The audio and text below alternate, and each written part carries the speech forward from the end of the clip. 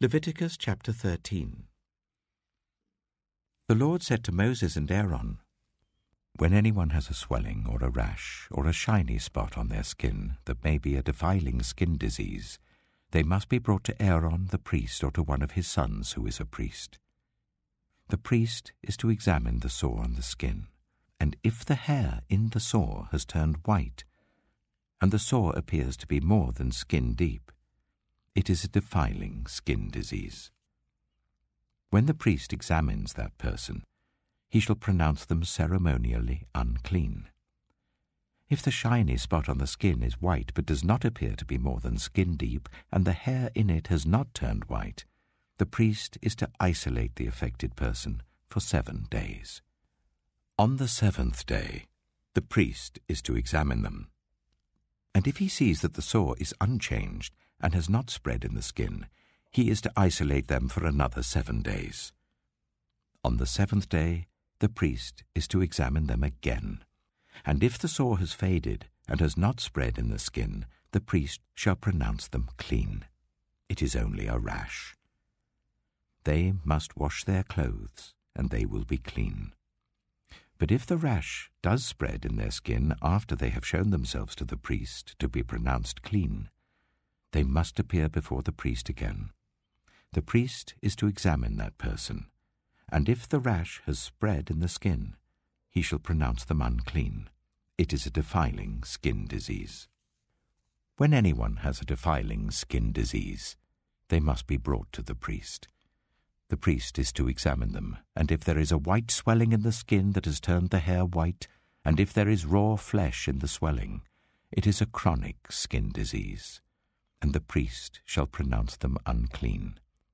He is not to isolate them, because they are already unclean. If the disease breaks out all over their skin, and so far as the priest can see, it covers all the skin of the affected person from head to foot, the priest is to examine them. And if the disease has covered their whole body, he shall pronounce them clean since it has all turned white, they are clean. But whenever raw flesh appears on them, they will be unclean. When the priest sees the raw flesh, he shall pronounce them unclean. The raw flesh is unclean. They have a defiling disease. If the raw flesh changes and turns white, they must go to the priest. The priest is to examine them, and if the sores have turned white, the priest shall pronounce the affected person clean. Then they will be clean. When someone has a boil on their skin and it heals, and in the place where the boil was a white swelling or reddish white spot appears, they must present themselves to the priest. The priest is to examine it, and if it appears to be more than skin deep and the hair in it has turned white, the priest shall pronounce that person unclean. It is a defiling skin disease that has broken out where the boil was. But if, when the priest examines it, there is no white hair in it, and it is not more than skin deep and has faded, then the priest is to isolate them for seven days. If it is spreading in the skin, the priest shall pronounce them unclean. It is a defiling disease. But if the spot is unchanged and has not spread, it is only a scar from the boil and the priest shall pronounce them clean. When someone has a burn on their skin, and a reddish white or white spot appears in the raw flesh of the burn, the priest is to examine the spot, and if the hair in it has turned white, and it appears to be more than skin deep, it is a defiling disease that has broken out in the burn. The priest shall pronounce them unclean. It is a defiling skin disease. But if the priest examines it, and there is no white hair in the spot, and if it is not more than skin deep and has faded, then the priest is to isolate them for seven days. On the seventh day, the priest is to examine that person. And if it is spreading in the skin, the priest shall pronounce them unclean.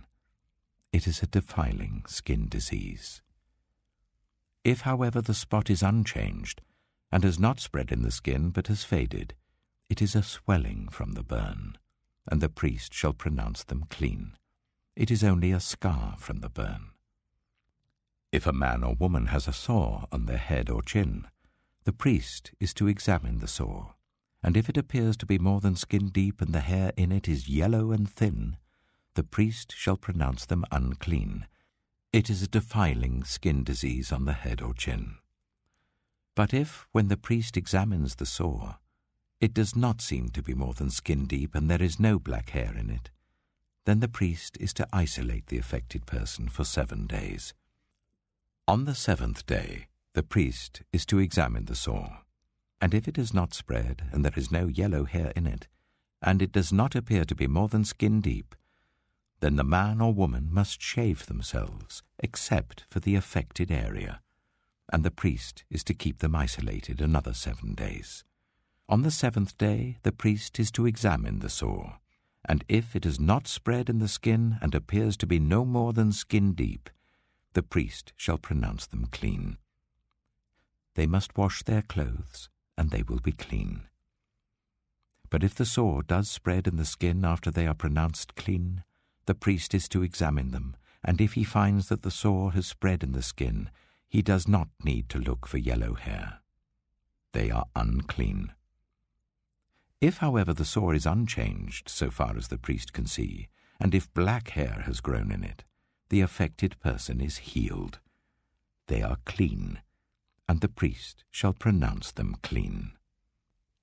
When a man or woman has white spots on the skin, the priest is to examine them, and if the spots are dull white, it is a harmless rash that has broken out on the skin. They are clean. A man who has lost his hair and is bald is clean. If he has lost his hair from the front of his scalp and has a bald forehead, he is clean. But if he has a reddish white sore on his bald head or forehead, it is a defiling disease breaking out on his head or forehead. The priest is to examine him, and if the swollen sore on his head or forehead is reddish white like a defiling skin disease, the man is diseased and is unclean. The priest shall pronounce him unclean because of the sore on his head. Anyone with such a defiling disease must wear torn clothes, let their hair be unkempt, cover the lower part of their face, and cry out, Unclean, unclean. As long as they have the disease, they remain unclean. They must live alone. They must live outside the camp. As for any fabric that is spoiled with a defiling mould, any woolen or linen clothing, any woven or knitted material of linen or wool, any leather or anything made of leather, if the affected area in the fabric, the leather, the woven or knitted material, or any leather article is greenish or reddish, it is a defiling mould and must be shown to the priest. The priest is to examine the affected area and isolate the article for seven days. On the seventh day he is to examine it, and if the mould has spread in the fabric, the woven or knitted material, or the leather, whatever its use, it is a persistent, defiling mould. The article is unclean. He must burn the fabric, the woven or knitted material of wool or linen, or any leather article that has been spoiled, because the defiling mould is persistent. The article must be burned. But if, when the priest examines it, the mould has not spread in the fabric, the woven or knitted material, or the leather article, he shall order that the spoiled article be washed. Then he is to isolate it for another seven days. After the article has been washed, the priest is to examine it again. And if the mould has not changed its appearance, even though it has not spread, it is unclean. Burn it, no matter which side of the fabric has been spoiled. If, when the priest examines it, the mould has faded after the article has been washed, he is to tear the spoiled part out of the fabric, the leather, or the woven or knitted material but if it reappears in the fabric, in the woven or knitted material, or in the leather article, it is a spreading mould. Whatever has the mould must be burned. Any fabric, woven or knitted material, or any leather article that has been washed and is rid of the mould, must be washed again. Then it will be clean. These are the regulations concerning defiling moulds in woolen or linen clothing woven or knitted material, or any leather article, for pronouncing them clean or unclean.